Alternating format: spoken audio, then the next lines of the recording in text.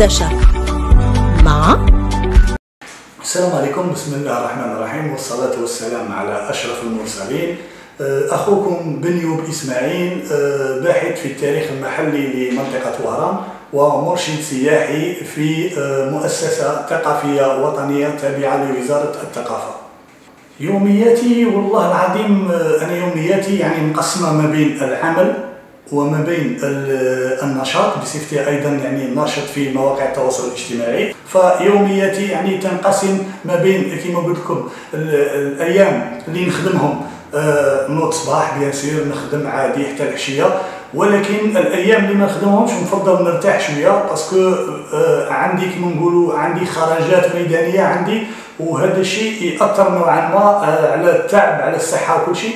فلهذا يعني نفضل الفترة الصباحية يعني نرقد شوية. بعد النوض مع نص النهار عندي صلوات التوعية بعد ندور نقدي نشوف شا خاص شا ما خاص. وهذه هي. طبقي المفضل والله أظن يعني كيف كيف كل وهراني يعني الطبق تاعي المفضل اللي لازم يكون في الميدان كل يوم هي الحريرة والمعبودة. يعني هذو زوج لازم يكونوا حاضرين. أنا الحادثة الطريفه قلت لك بلي أنا أنا نخرج بزاف للميدان. أنا يعني أغلب الخرجات تاعي تكون على برا تكون في الجبال. يعني إحنا نحاولوا نستكشفوا المواقع الأثرية اللي تسخر بها مدينة وهران والمواقع الأثرية ما كانش غير في المدينة. كاين مواقع اللي جاية خارج المدينة تلقاها في الجبال تلقاها في الأعالي بين الوديان. فلهذا يعني أنا والأصدقاء تاعي يعني المغامرون كنا نخرجوا نستكشفوا هذه المواقع ومرات يعني في هذا الشهر الفضيل مرات يأذن عليك الأذان وتنسى روحك. كاع بلي راك صايم ولازم تفطر.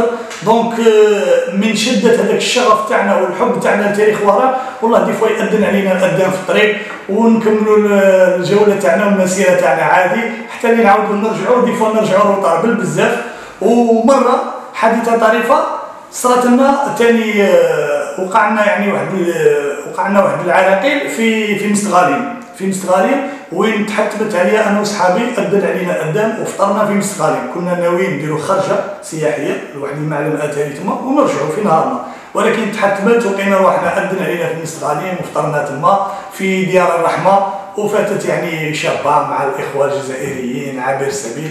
فاتت ما شاء الله أردت أن اربط ما بين البرامج سابقا والبرامج حاليا. يعني إحنا زمان نتكلم أنا في الصور تاعي يعني كبرنا وين آه، تربينا على واحد البرامج ترفيهية تربوية. يعني وين تعلمك وتحسك تشعر بواحد النوع من النخوة واحد النوع من الافتخار بالإسلام تاعك بالعروبة تاعك يعني نذكروا على سبيل المثال المسلسلات اللي لاقوا نجاح كبير اسمها أمثال يعني مسلسلات زنوبيا الفوارس الجوارح الكواسر الموت القادم إلى الشرق الزير سالم. يعني هذيك المسلسلات اللي تقدر تتفرجها en famille sans problème مع الوالدين تاعك مع جداتك عادي. ولكن للأسف يعني حاليا ولينا نتفرجوا بعض البرامج وانت لابد معك تيليكوموند. يعني آه كاين بعض البرامج اللي تتخوف منها نوعا ما. ولكن يعني رغم ذلك كاين واحد البرامج يعني عائلية نتفرجوهم مع مع العائلة تاعنا. كاين بعض البرامج يعني ترفيهية كوميدية يعني لا بأس بها ورانا نتابعوها في هذا الشهر الفضيل والله هذا شهر رمضان يعني طيلة شهر رمضان آه، شاركت في في برنامج يعني سهرة عائلية. والحصة يعني راها تبث يوميا في قناة خاصة. حصة تسمى قعدة العائلة وهذه قعدة العائلة عبارة عن سهرة ترفيهية يعني فيها تنوع فيها الكوميديا فيها الفاشن فيها الثقافة فيها التاريخ. يعني وأنا بصفتي كمرشد سياحي أنا مكلف في هذه الحصة بإعداد وتقديم آه، فقرة تاريخية ثقافية.